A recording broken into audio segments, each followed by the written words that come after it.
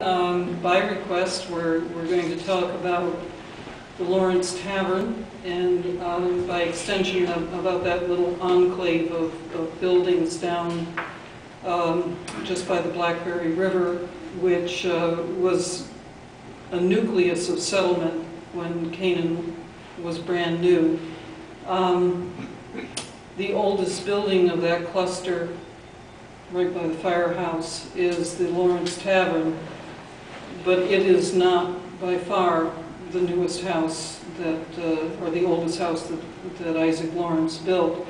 Um, When I was working at the Adams Farm this year, uh, scanning all of those papers, I came across this really cool map, uh, which I am dating between 1790 and 1810, based on the fact that that's the, uh, what's in the cluster of, of papers that I was working through at that time. Uh, Based on the handwriting, I think it might be by William Adam, who was a grandson of Squire Forbes and married a granddaughter of um, Isaac Lawrence. And it's by no means to scale, but it's interesting because it shows the properties that were extant at that time. We're not going to do that. That, that area right over there is uh, where Isaac Lawrence had his original farm. Um, Rattlesnake Hill, this odd-shaped amoeba, is uh, listed as being his property. That's Rattlesnake Hill. And then this elongated parcel there is also bears his name, although I can't really read what, what they're saying it is. In fact, uh, Isaac Lawrence was a major wheeler dealer when it came to property, and by the middle of the 19th century, I have a map that shows that the Adams slash Lawrence family owned virtually the entire center of town to the Sheffield border. So they, they acquired a great deal of property. But when he first arrived in town, and I think it's interesting, he, he came to Canaan on June 2nd. He finally arrived uh, in 1738. The town was, was sold in January 37 slash 38. I always find that old calendar to be enormously confusing.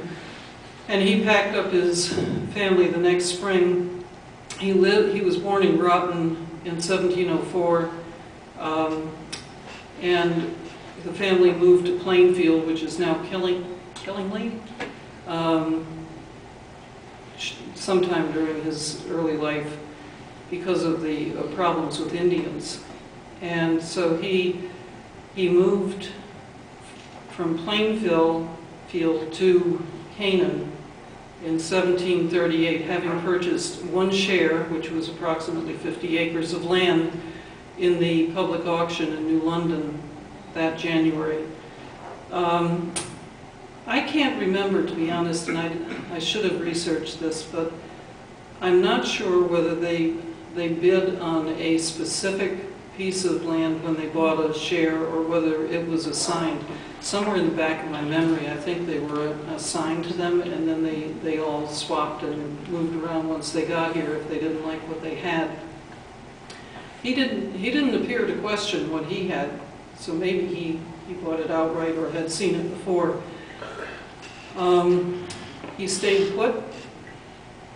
They, it took them nine days, and some say 14, to traverse the distance between Plainfield and Canaan. they, uh, from, there was some settlement, minimal settlement up to New Hartford, but after that it was just pretty much unbroken wilderness. And uh, according to the family history, he had to cut his way through the forest. They supposedly had an ox cart filled with their possessions. He was 34. Um, I don't know how old his wife was, but they had four children. And um, she supposedly rode a horse. And the woods, if you believe the accounts, were so thick coming through what they called the Greenwoods, that her knees would brush the trees on both sides as they passed through the trees. So obviously to get an ox cart through all of that was not easy, and he was fortunately a big, strong man and uh, in the prime, and uh, he had to cut down the trees, uh, get them out of the way, move his ox cart forward, build some kind of bridge to get his, uh, his cart across it. Um, They came in about seven or eight days to Norfolk, and they camped in a meadow uh, up on the high rise in Norfolk, and uh, in the meadow, they found a dead loon. So when you see, hear of Loon Meadow in Norfolk, that's Isaac's name for that piece of property. Uh, Not only were they coming at just about the same time that we're going through in the season right now, they apparently had very much the same kind of weather because it snowed sometime close to June. And I th- I thought it might snow yesterday. Um, When they got up in the morning, they found that there was a bear track next to their cart. So they apparently had the same problems then with bear predation. They probably smelled the food they had, and or maybe the animals, and came right into camp. So Isaac, who was a very, very religious man, calmed his children by saying that God had, had saved them. He- As the book says, he improved the hour for the children by relating it to their salvation. Um, they came down, as nearly as I can figure, they came down through Canaan Valley and out and, and to their property, um, which is located along the the Blackberry uh, at the foot of Ch- Church Terrace. Um, The book says that they camped the first night 80 rods southwest of the current tavern. And they camped under a, a large oak tree. The next day, Isaac, being who he was, gets up, goes to work. He's got, he's got a bunch of things to do. It's June. He's got to get, the very first thing they had to do was prepare for the winter. So they really needed to get a crop in the ground, which meant he had to clear the land, he had to till it, he had to get something in the ground to um, preserve them. So he would have undoubtedly gotten root vegetables in, he would have maybe planted some corn, rather like the crops the Indians have been planting in the area uh, for centuries. Um, With the trees that he cut down, he would have formed fences, he would have cut them up um, to create the enclosures that they needed. At the same time, he had to find some shelter for his family, and I can just see Mrs. Lawrence, you know, here she is, four little kids, everything she's got is in an ox cart that can't be very large, and, um, and she's got to make a, make her way out here. So his idea of a quick solution to housing was to dig a hole in the hill and uh, put up some boards that he had brought, probably brought with him since there was no sawmill, uh, across the front, and the family lived in that for the first winter, which sounds utterly gruesome, except that it probably was warmer than if he put up a plank house, because the plank houses that, people of English descent built in the colonial period were pretty wretched, and the wind would blow through, and they were not insulated, so he would have, he would have had a very chilly winter if he had put up a little shack for them to live in. Next spring, um, probably she had had enough of dirt dripping on her head, though, and he built his first house, and I am not a hundred percent sure where that was. Um, The, the plain area down towards the river, um, I think would be, have been the lo- location, 80 rods southwest of his home is roughly where it was. And uh, they lived there for a number of years, and then he built a better house, this time somewhere close to where the um, old center school was on Granite Avenue. I'm not sure whether it was on top of the hill or maybe where Fuller's office is, somewhere in that area. Both houses long since gone in 1851. according to the family history. That second and third, or first and second house, I guess you should term them, were um, where hi- the largest portion of his large family grew up. Um, They lived in, in that for a- quite a number of years, till 1751. He had nine children. Uh, Five of them gone by the time he moved into, into the uh, tavern. Gone as in dead or gone as in? A lot of them were dead. He lost five children in one year, I think one to marriage and four to death, babies. But he still had a, a number of, of children that moved into the uh, tavern. So in 1750-ish, probably, he decided he was going to build himself a nice home. It's listed in histories as being the first nice building in Canaan, and it's one of the nicest still. Um, I, this, this house, the yellow house, uh, which was located where McDonald's is today, I had mistakenly thought was his uh, second home. It is not, but it was William Adams' house, and so it was probably built, and it's not on the first map. So I'm, I'm thinking it was built in the early part of the 19th century and was William Adams' home at that time. So cross out that information I've given you before because I was wrong. Um,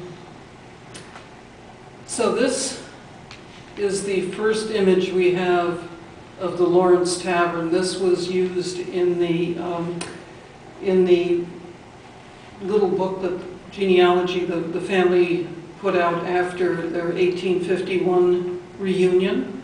Um, I think they probably had it commissioned at the time. The clothing of the women out here is consistent with the mid-19th century, so I'm sure it was done then. It actually looks like a Barber uh, painting, but it's not credited to him, so I, I kind of doubt that it is maybe one of his disciples. Um, you can see that the building has, has maintained its uh, lines remarkably. Uh, Some of that is, is thanks to Jim Lyle. This is the building in um, 1951 on its second 100th anniversary. And I'm not going to get too close to that thing, but you can see that down on, on the southern end, there is a porch that was of Victorian origin, and Jim stripped away all the gewgaws that had been added. He did a marvelous restoration of the building, stripping away paint, cleaning the wonderful paneling that's in it down to its natural layer, preserving a lot of the architectural detail of the house. Um, Isaac Lawrence became very prosperous. Um, the southern half of the house, as he designed it, was a tavern, and he, it remained active as a tavern, not continuously, but over a great many of um, years for almost a century. And um, if, if what I've been told can be believed, it was the place where more well-to-do travelers stopped when the train, uh, when the stagecoach came through. The drivers, their horses and carriages, and less well-off passengers would go down to Stevens Tavern, which was up over the hill and down where the, the rail yards are today. And that was kind of a rowdy place. So it was not anywhere near as genteel as, as uh, Isaac Lawrence's house. The northern half was family dwelling. Um, It appears that, I just took a picture of it this morning to show what it looks like today. You can see it's being wonderfully preserved by the family. I- think it's the ninth generation that's currently taking care of it. And I think that is just incredible that they have found, there was only one brief period of time when it went out of the family. Um, Squire Forbes purchased it in 1824 and owned it until 1827, at which point his uh, grandson, William Adam, um, purchased it from him. William had married Isaac's granddaughter, who was born in the house. So it, it quickly looped right back. It, its diversion from the family was not very far or very long. Um, so the, uh, the use of the house uh, has been pretty, pretty consistently in the family, and the neighborhood has, has continued to attract members of the family. This, this house was built by Fitch Ferris, it's across the street from the tavern, and Ferris had a store next to it. Um, He was a a successful businessman. That store was moved um, down behind into um, Whiting Court, behind the Canfield building at a later date, so it's not there. And then this house later was um, occupied by a bunch of people, but in the, uh, most recently by the Eddy family, Lawrence Eddy, who was a direct descendant from Isaac. So again, we're, we're staying within the family.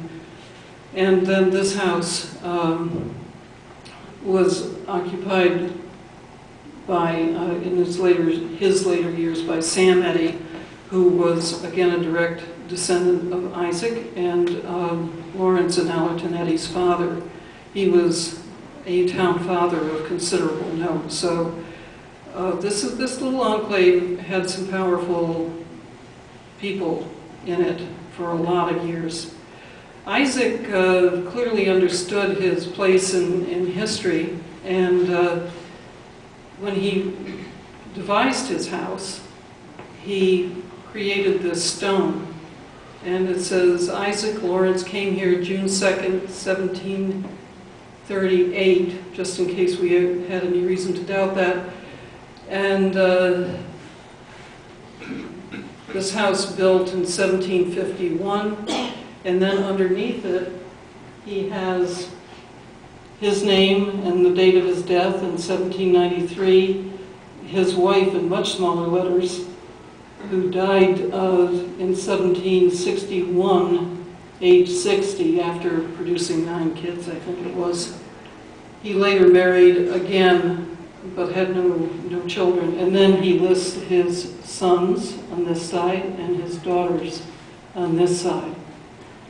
And uh, Hawthorne used to hang around in this neighborhood when, when he was at the height of his popularity, and he wrote that it was rather odd to have uh, the names of the family written on a, on a stone where everyone was going to step on it. But it's maintained itself for all these years, so it's rather a lovely family record, indelibly inscribed.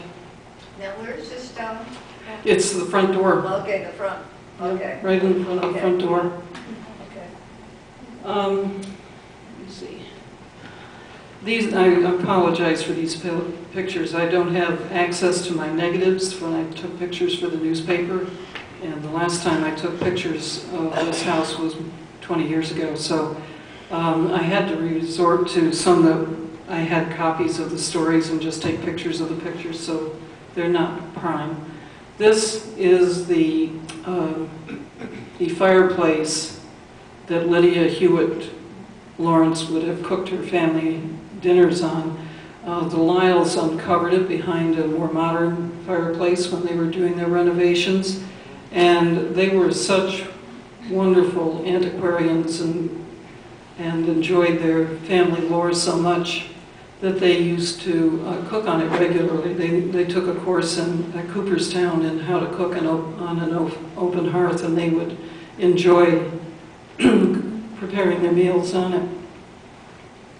Um, This is looking into the room, excuse me, um, from the, what actually uh, was, was the uh, tavern area. And you can see the fireplace, and the chairs belong to, I think it was Jonas Lawrence, his son.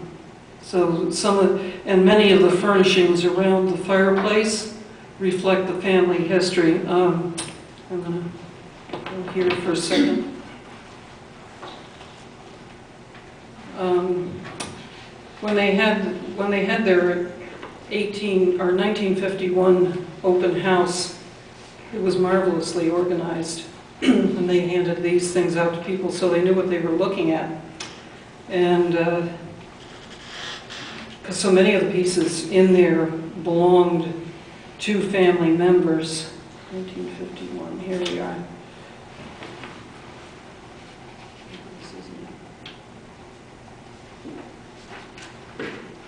Okay, it says here, the dining room to the right of the parlor was the original kitchen. The fireplace of fieldstone is five feet wide and four and one half feet high, fully equipped with old wrought iron utensils as well as a brick oven for baking, which the Lyles had rebuilt. Um, Over the mantel uh, are the uh, old pewter mugs of Isaac Lawrence and Heman Allen, who was a nephew of Ethan Allen, and an old loggerhead, which on occasion during recent years has fulfilled its original mission.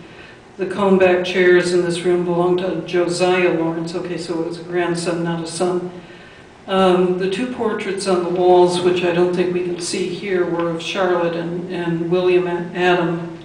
And um, William actually owned the house from 1828 to uh, 1884. So, again, a long, long history of family ownership.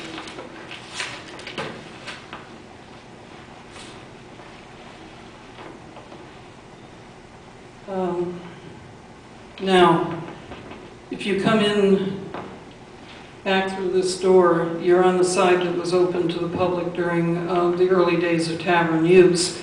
And uh, the Lyles had a very interesting time recovering this area.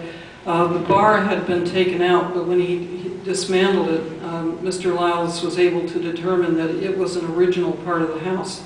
So the house was built with the intention of being a public house.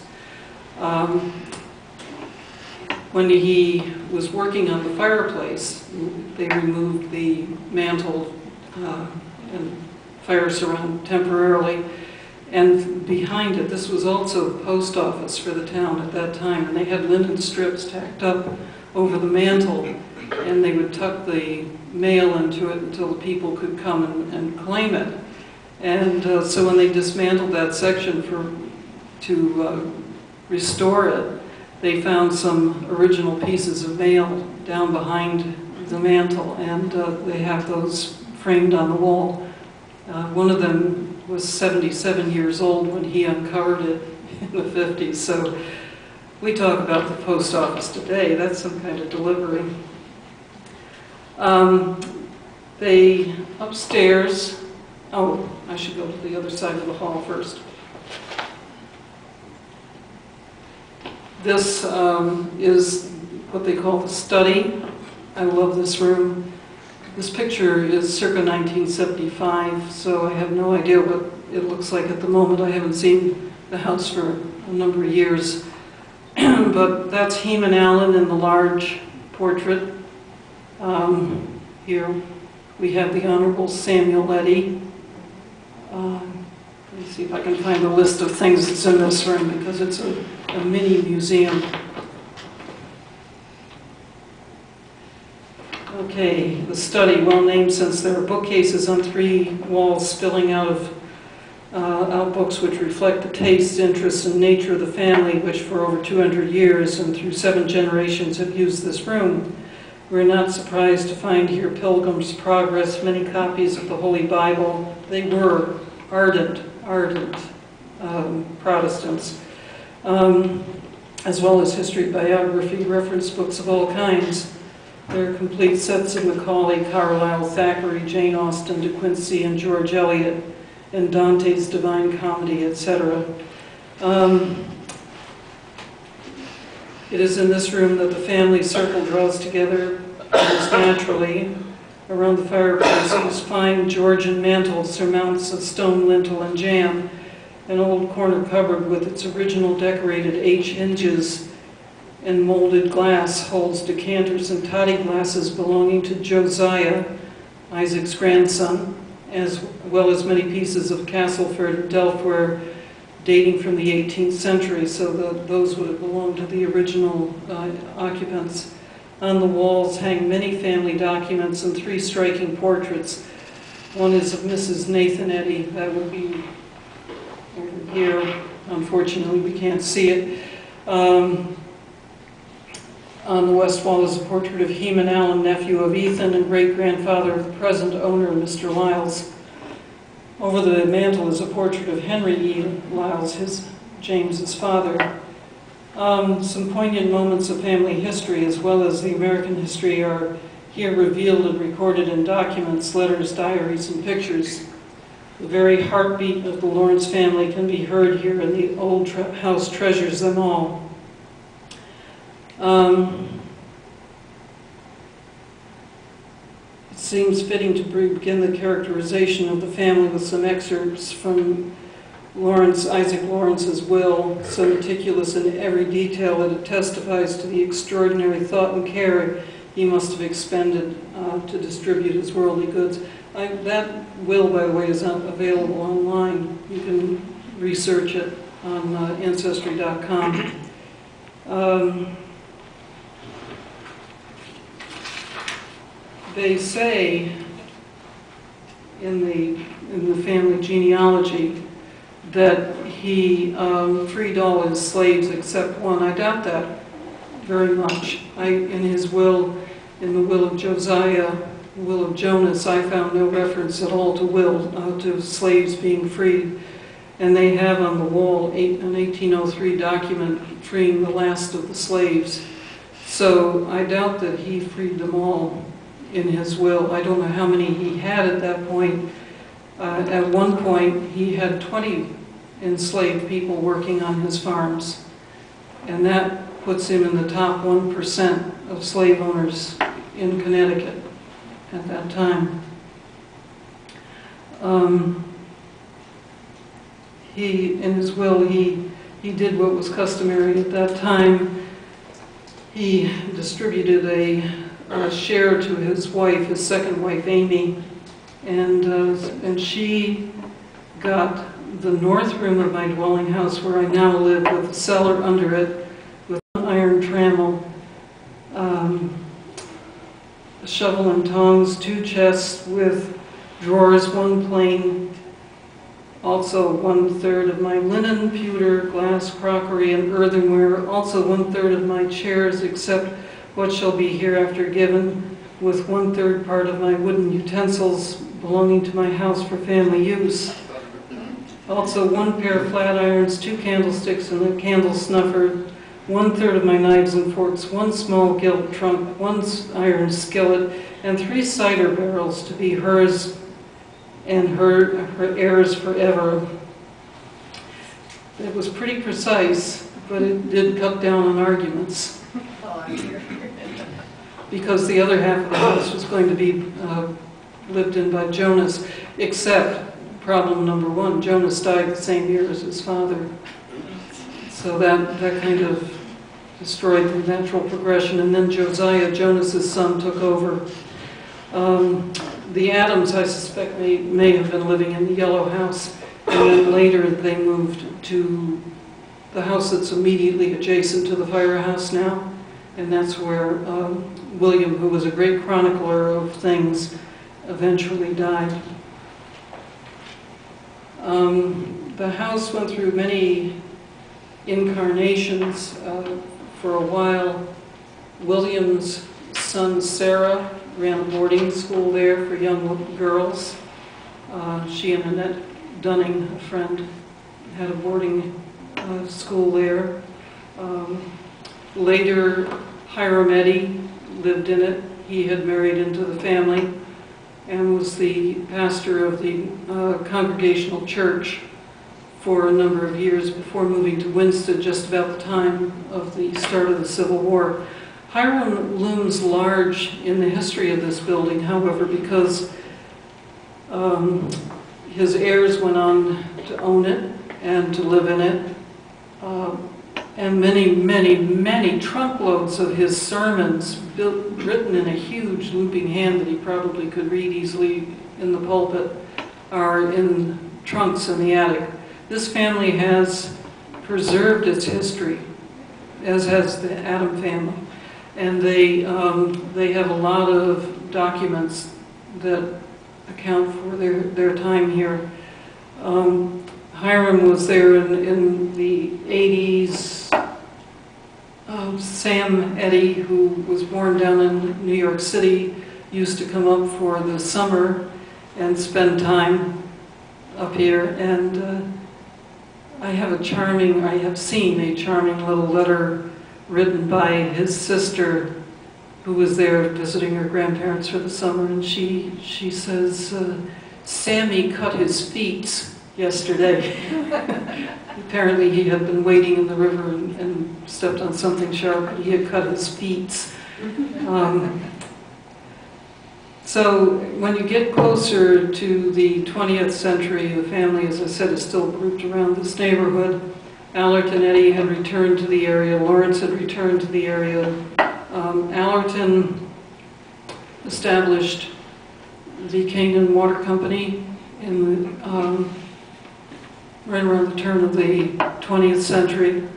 So he actually uh, is responsible for much of Canaan having had clean water delivered from a actually a large frog pond, if you want to know the truth, on the side of Canaan Mountain. That was recently, within decades, sold to the uh, Pfizer, which is mined back in there, and it, it no longer exists. But when my father was working for Allerton in the 50s, every Sunday we would have to hike the side of the mountain to go up and, and check, make sure nothing awful had happened, like a de- dead deer or something like that in the reservoir. And I would spend my time catching frogs while Dad did what he needed to do. Um, Mr. Lyles, as I said, did a, a marvelous, meticulous restoration of the property, removed many coats of paint, got rid of Victorian abominations, and then it has come down through his family since. It's currently owned by Chip Goodyear, and Chip has taken up the mantle and has put the house in good order for its third century. He's had a lot of very professional conservation done, and um, he had a, a much less grand but still very welcome open house when he finished his work, or at least a large part of it, in the uh, right around the turn of the 2000s. And um, I was able to go in it then again, loved the place. And I noticed that he had, among other things, uh, taken the dress that was worn by Charlotte and William Adams' four-year-old daughter in a portrait that they have in the house, and he'd had it conserved and encased in a, a glass case and put right underneath the picture. So you've got um, the girl and her brother, Robert and Sarah, I think they are. Uh, Robert's holding a, a blue book. I don't know what happened to the book. There's a little dog that's obviously long gone, but she's holding a doll. They still have the doll. And they have uh, the dress beautifully preserved so that all, the picture was painted in 1832, so it's got some age on it. Upstairs in the ballroom, this house had a ballroom and it was used for town meetings and for social gatherings. It's got a, a fiddler's gallery and uh, has been used on occasion, particularly at the 1951 um, open house. They had an 80-year-old fiddler up there at that time. Um, downstairs, we're going to circle back to the beginning here. Guess what's in the ballroom? They still have the loom that he camped under the first night they came to Canaan, and it's still useful if, it's set up and used. In the permanent seats that go around the walls of the uh, of the room where dancers used to sit, underneath them there are, are so many ledgers and documents and whatnot. I think it would take a century to process them all, but what history lies there. Um, I'm hoping that someday I'll be able to do what I'm doing with the Adams now and, and going through and scanning the documents and putting them into a digital format. Uh, 90% of the Adams stuff has, has been um, business papers and receipts, but they, they create a uh, image of just a fabulously busy society that was growing like crazy with business enterprises that extended out to Pennsylvania, New York City, Upper New York State, Massachusetts. I mean, it was amazing where he was buying land and what they were doing. And this man was, was equally ambitious. So that is about what I know about the Lawrence Tavern. Okay, any questions?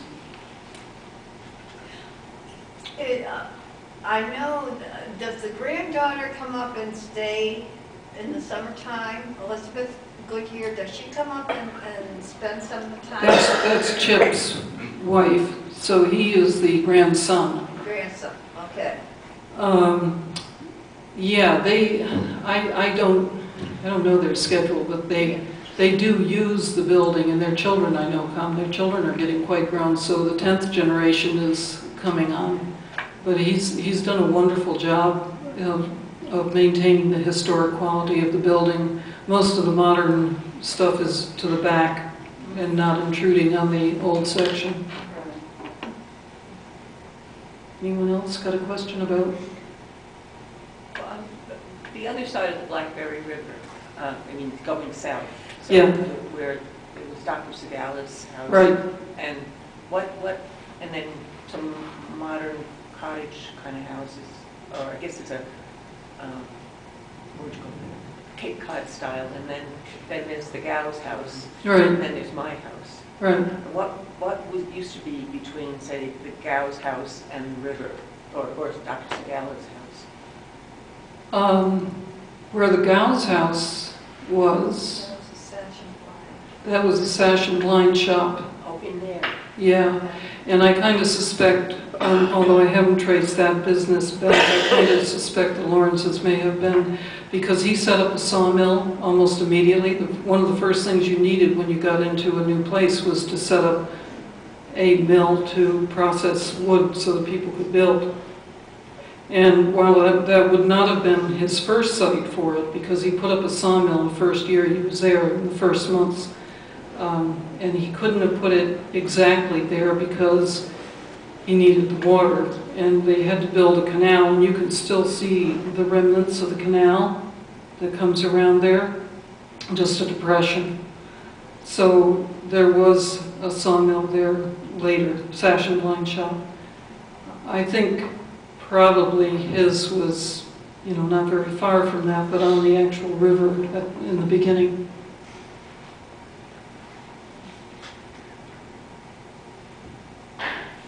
Anybody else got anything they'd like to know about this marvelous old place?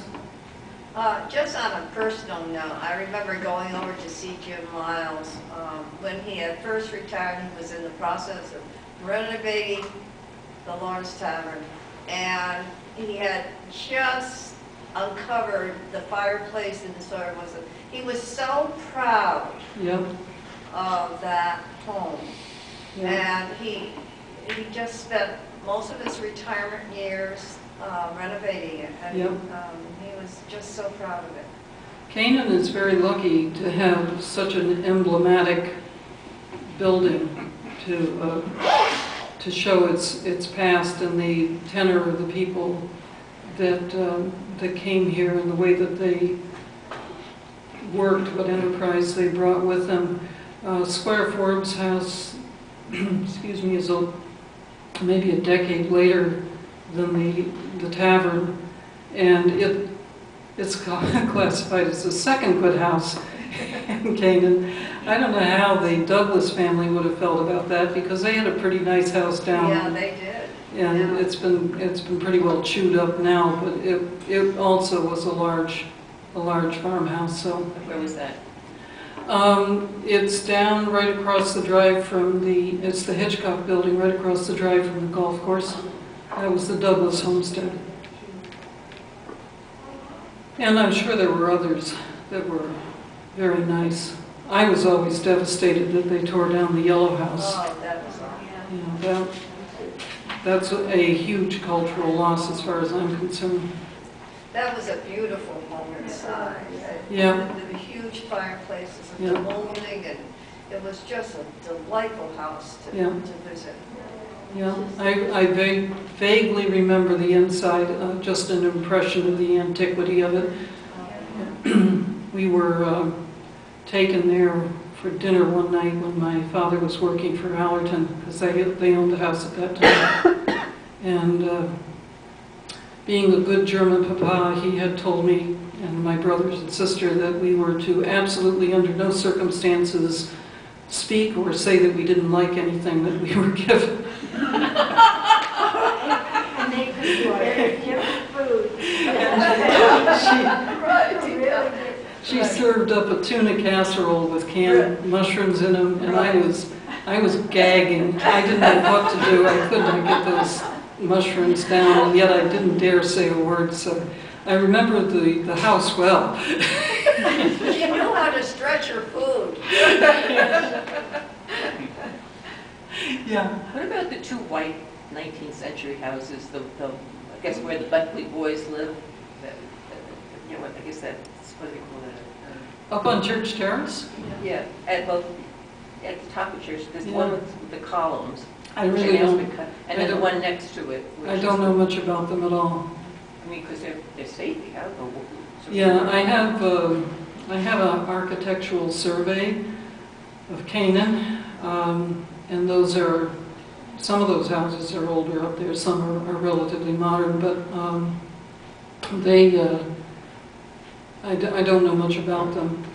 You know what is an old building on that stretch going, going towards uh, your place, actually? On the left, there's a funny little stucco building that the walls are kind of scoogey on. Um, That was the original schoolhouse, and it was down um, in the uh, St. Joseph's parking lot. And when they built the academy, built the academy, what year? In the, around 1850, I think. Somebody bought that. Nobody wasted anything. They bought it and brought it up there and used it as a residence. But the original part of that house is the oldest, is the old school for the center of Canaan. The earliest schools were out in East Canaan. Didn't that become a Catholic um, bookstore? I don't know. Oh, I think, you're talking about Fallon Book? That was the Catholic bookstore. Yeah. yeah, No, I think this one was just a residence as long as I knew it. Okay. So, Kathy, do you remember, this is a residence, but there was a house right across from the old town hall on Granite Avenue? yeah, Do you remember that building? that was called the Yellow Dog.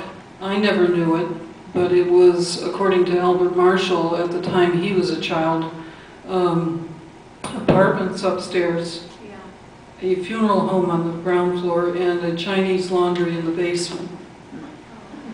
Yeah. That was right across. We called it the haunted house. Did you? It was falling down. Yeah, and then of course they made the gas station there. and- But Albert remembers lying in the upstairs apartment and looking down towards the depot and seeing them unload the uh, circus animals and take them off to water them. And so he would have a front row seat and see the circus train unload in the night, which sounds kind of charming in its own way. One of the things I think it's interesting to note, and I'm going to close with this, um, we look at this little cluster of buildings, and they were built over the course of uh, 40 or 50 years, right across around the Lawrence Tavern. And they were a hub of business, and there were more, more shops that went down Lower Road that were associated with the Adam family. Um, and Fitch Ferris. So we tend to think of New England villages as being built around a green, and, and we have this kind of image of this wonderful pastoral setting with white buildings clustered around and, and stores and whatnot. That's not the way colonial society was set up. Most, um, most businesses were conducted either out of homes or out of out of small buildings that were adjacent to the home, and they were scattered throughout the, the landscape. And the commons were not nice places. They were, they were very frequently devoid of vegetation because people put their animals out on them. So there was garbage dumped on them. There was animal manure. There were no trees. And it wasn't until the- antiquarian movement, the colonial revival, um, that these things were spiffed up and made into what we now consider to be the green. As I understand it, the origin, origin of the green came from the earliest days of settlement in this country, when the ships would come in and the, the landowners, the proprietors would have land farther from the green, but they were required to have their houses around the green for mutual defense. And that's why we had greens, but their, their properties might have been long strips that went out, so they might have been farming at quite a distance from their actual home. So Canaan, Canaan was broad, spread out, most of the business, most of the development was out in East Canaan. And uh, then, as we've said before, when the train came, then we started to build up a nuclear village in 1841. Prior to that, there wasn't much here.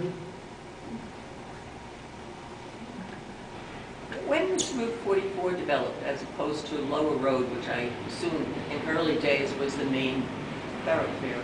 Um, well, there was a lot of traffic on the lower road. Go back to where I was here.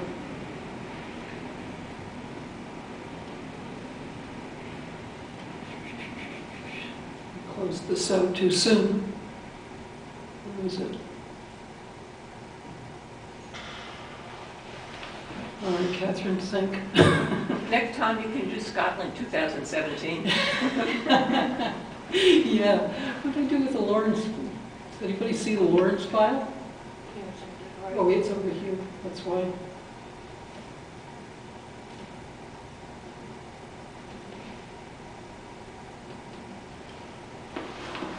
Okay, um, this, me see, there's, there's the Lawrence property, and out here is a road. It may not be the exact path of 44 now, but this is the meeting house right here, which is the corner of Truscott Hill. So this is roughly 44 paralleling Lower Road. Now, what's interesting here is that right over in here somewhere, I can't quite read it, is a, a little building that's indicated, and it's listed as being the Negro Meeting House, which I have never found any other reference to anywhere. The fact that we had a separate place of worship for the black families. I always thought they just sat in the gallery of the main meeting house. So the road system has changed a little bit, but it's, it's still, you can still see the basics of what we have today. This is uh, Route 7 South roughly. This looks like it's probably the sand road going off this direction. We don't have Route 7 going up like that though. It kind of goes off over here. And Fred Hall, eventually it kind of went up to here. And Fred Hall showed me the building that it's now been reconstructed. That was the toll, toll building up in Sheffield. Where is it reconstructed, Kathy? As you're going up Old Route 7, Yeah. um, I can't remember the name of the farm, but there used to be a big farm on the right. And then you go Yeah. past that just a little bit and there's a little shingle building. Mhm. That was Yeah. the toll house. Oh, okay. And the road came over from um, Ashpatog and that area and up from Honey Hill. And they converged there. This is an interesting map. I wish it had more on it. He says it's the land around the farms and his farm, the Adam Farm. But, and I was hoping it would have the original Forbes furnace on it, but I don't really see it. I was hoping it would illustrate that. This, this is the, uh, this here is the uh, Lawrence property, and I think this is Fitch Ferris's house here, if indeed that's what it is. But you see, there's nothing over in here.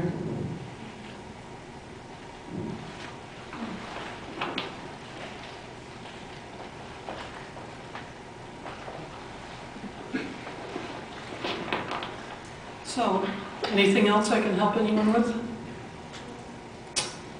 Okay, we're going to uh, take a couple of months break here, um, back in September. And uh, anybody got any suggestion as to what they might like to talk about in September? Remember, you're helping me to write my book, so come up with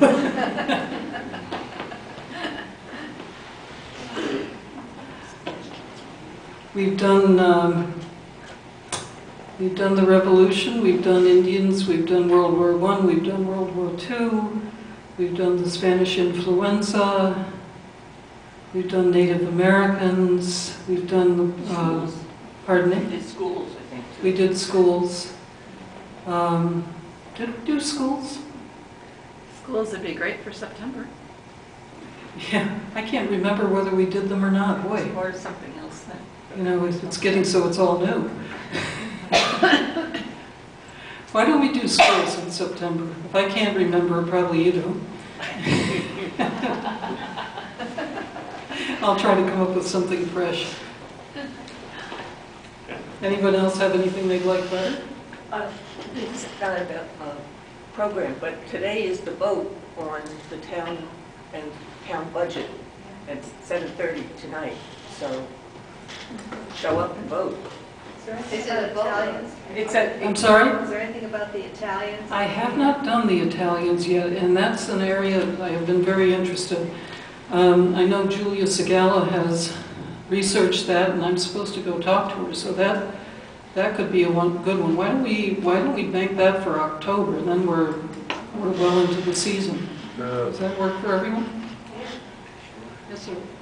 You know, where the uh, state of Connecticut came in and uh, stole all our land over here to put in that road and then put in the new road Yeah, uh, against the old road. You know, yeah, that was, that was a tragedy, and that was the end of that beautiful little yellow house. Yeah, They, they tore that down for the road they never Yeah. built. Yeah. I had a little dealing with them and then they're gonna put me in jail. Go back during the days, you know, and I, I said, how much would it cost us to get that back? And they mentioned some god-awful number. And I said, no, you guys are a bunch of goddamn thieves. Yeah, you just took it. And finally, I think they wound up giving us the land, I don't know. Yeah. Well, the uh, the Lawrence Field, which uh, was appropriately named since it was Lawrence property, um, at the time that, that they came up with that benighted plan, was such a, a wonderful gathering place for it. It still is. I mean, we, yeah, we've got it back to a large degree, but we had the community house. right. And that was a classic building, um, and a very pleasant place for people to gather. Now it's the ambulance building, and uh, the pretty little yellow house is McDonald's. Yeah, yeah. What a tragedy. It was a trap, because so many people lost their property, you know, just, it's a terrible situation. I'd I'd like to, uh, maybe, maybe I'll poke around and see if I can get information on that, because it did have a significant impact on Canaan. and um, it never happened. But I, my experience with trying to get information from the DOT is that they have nothing, they don't keep files going back that far. I tried to research a bridge down in uh, New Milford, and it was, what bridge? All right.